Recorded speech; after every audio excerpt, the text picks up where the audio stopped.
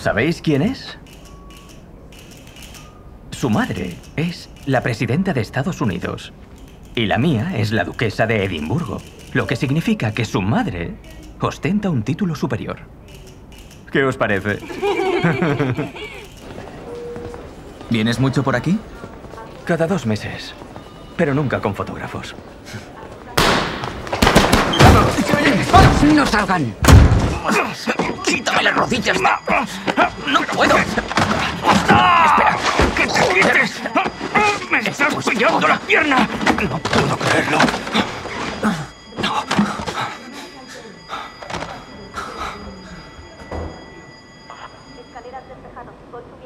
¿Santal 33? Sí. Me encaja. ¿Te encaja? Huele bien, tienes buen gusto. Gracias. ¿Por qué te caigo mal?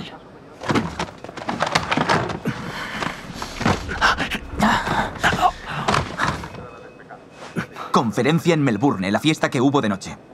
Fui a presentarme y me miraste como si tuviera piojos. Y entonces le dijiste a tu secretario, sácame de aquí. No pensé que lo oirías. Así que admites que fuiste un borde. Debí ser más amable.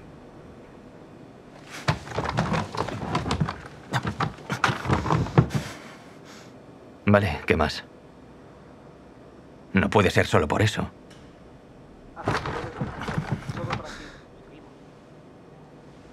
Oh, Dios santo, lo es. ¿Lo es? ¿Solo es eso? No le Vaya. quites hierro. No, no puedo quitar hierro a algo que no tiene nada de hierro.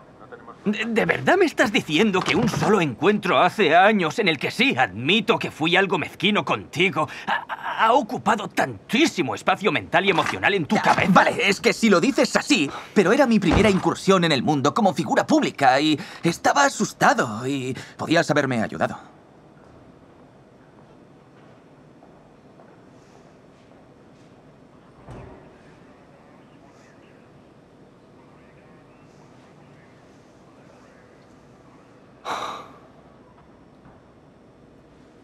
Es cierto.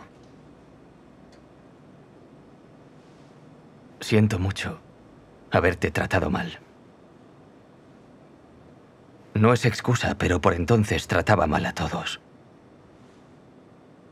Mi padre había muerto hacía poco y el palacio insistió en llevarme de gira.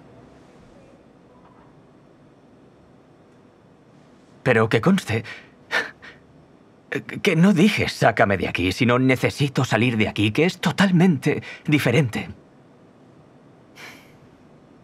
¿Ah? Pues entonces te debo una disculpa.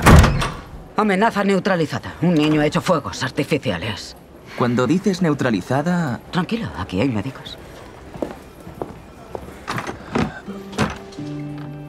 Vale. Y se hicieron amigos.